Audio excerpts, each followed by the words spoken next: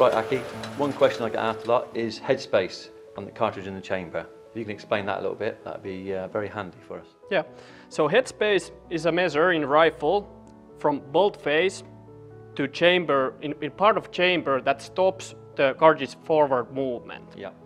So, so this measure can be different in, in different caliber rounds. So for example, 375, which is a belted, belted rim cartridge, the headspace is from bolt face to front part of this belt. Yeah, yeah. So it's considerably shorter than in 308, which is from bolt face to middle of the shoulder. Yeah, and that's something that is really important when it comes to pressure.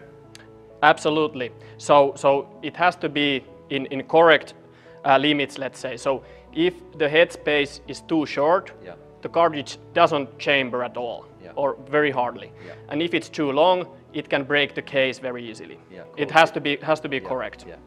This chamber is 308 Winchester. So to be absolutely clear, headspace in this situation is from bolt face to middle part of the shoulder shape.